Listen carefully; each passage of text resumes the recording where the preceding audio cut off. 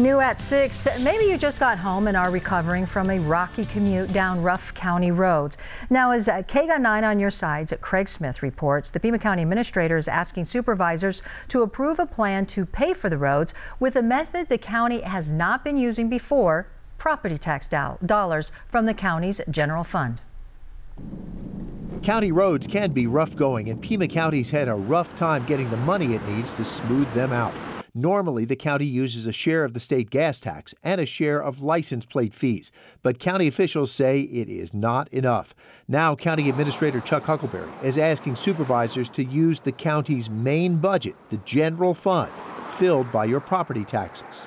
The streets proposed for repair are all outside the city limits, but they're selected with city drivers in mind because even if you live in an incorporated area like the city of Tucson or Marana, you still pay county property taxes. Pima County's transportation director says to be more fair, they proposed county roads where about 40% of the traffic is city drivers crossing in or out of county limits. They also proposed smoothing the roads that help fuel our tourism business. Mount Lemmon, Catalina Highway, out to Old Tucson, the Desert Museum, and the Gates Pass. District 4 Supervisor Steve Christy served on the State Transportation Board and the Regional Transportation Authority. He supports this idea and says often people do not understand a lot of county money is restricted. It cannot be shifted to roads. But general fund money is general. It can be shifted, though it could mean moving money out of other programs. Christy says bad roads are bad for the local economy because they discourage business that might want to move here.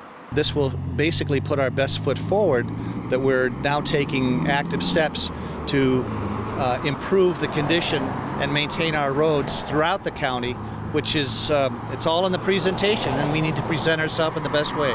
This proposal does not cover residential streets, but there is the chance it could free up other money to help improve them.